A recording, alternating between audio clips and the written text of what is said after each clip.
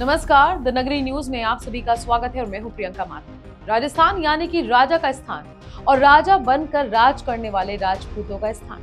राजस्थान का इतिहास ही राजपूतों का इतिहास रहा है। संख्या बल में अन्य जातियों से कम होने के बावजूद प्रतिनिधित्व में राजपूत सभी पर भारी पड़ते हैं। यही कारण रहा है कि कोई भी पार्टी इनकी अनदेखी नहीं करती। 2018 के विधानसभा चुनाव में बीजेपी की हार का सबसे बड़ा कारण राजपूतों की नाराज़गी रही।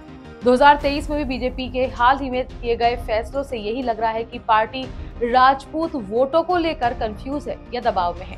पूर्व मुख्यमंत्री और बीजेपी के संस्थापकों में से एक रहे।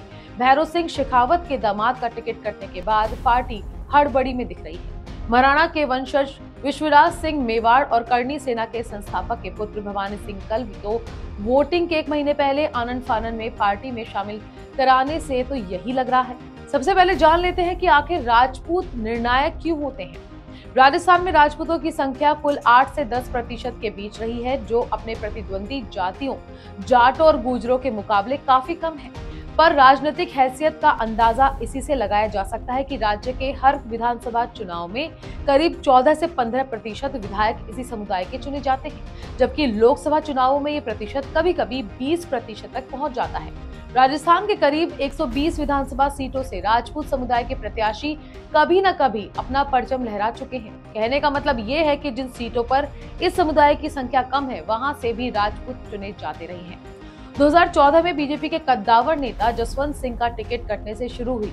राजपूत समाज की नाराज़गी दिन प्रतिदिन बढ़ती गई। वसुंधरा सरकार के समय राजकुमारी दिया कुमारी के होटल का प्रकरण आनंदपाल के एनकाउंटर सामराव प्रकरण चतुर सिंह एनकाउंटर आदि को लेकर राजपूतों में राज्य सरकार के प्रति जो नाराज़गी पैदा हुई, वो 2018 के चुनाव में नज़र आई। इसके साथ ही गजेंद्र सिंह शेखावत को प्रदेश अध्यक्ष न बनाए जाने को लेकर राजपूतों में नाराज़गी रही।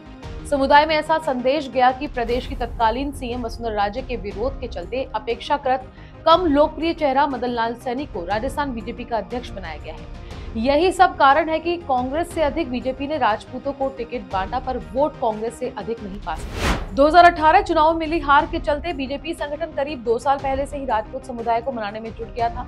2022 अगस्त में दुर्गादास राठौड़ और पन्नाधाय की मूर्ति का अनावरण राजनाथ सिंह से कराकर राजपूत समाज को संदेश देने की कोशिश शुरू की गई थी। बाद में प्रदेश के तीन बार सीएम रहे भैरव सिंह शेखावत का सौवा जन्मदिन बड़े पैमाने पर करने की योजना बनाई गई।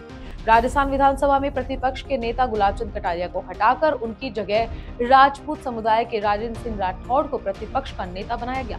महारानी दिया कुमारी को हर मोर्चे पर फ्रंट पर रखने का संदेश दिया जा रहा है। ये भी कहा जा रहा है कि अगर प्रदेश में बीजेपी की सरकार बनती है तो महारानी दिया कुमारी मुख्यमंत्री बन सकती है। इस तरह राजपूत समुदाय को पार्टी से ये संदेश दिया जा रहा है कि पार्टी के लिए वो कितना महत्वपूर्ण है। राजवी की सीट से जयपुर की महारानी दिया कुमारी को लड़ाया जा रहा है। दिया कुमारी को विद्याधर नगर जैसी सेफ़ सीट क्यों दी गई है, ये तो पार्टी ही बता सकती है। पर टिकट कटे पर नरपत सिंह ने अपनी नाराज़गी खुलकर ज़ाहिर कर दी। राजवी दिया कुमारी की राजनीतिक योग्यता को लेकर सवाल उठाते रहे हैं। कहते हैं कि उनकी कार्यकर्ताओं से पहचान नहीं है, न संवाद है, उन्हें उतार कर पार्टी क्या हासिल करना चाहती है? वसुंधरा को पार्टी में किनारे लगाने से राजपूत नाराज़ तो नहीं है, पर अगर चुनाव के अंत तक वसुंधरा को पार्टी संभाल नहीं पाती है तो ये तय है कि वसुंधरा राजपूतों को नाराज़ कर सकती है। महारानी दिया कुमारी और वसुंधरा राज्य में बहुत बड़ा अंतर है। वसुंधरा बीजेपी की बहुत पुरानी कार्यकर्ता रही है। बीजेपी और राजस्थान की रंग रंग सेवा के थे उन्होंने पार्टी को राजस्थान में खड़ा करने के लिए खूब पसीना बहाया है और सबसे बड़ी बात तो खुद को क्षत्रिय की बेटी भी कहती रही है।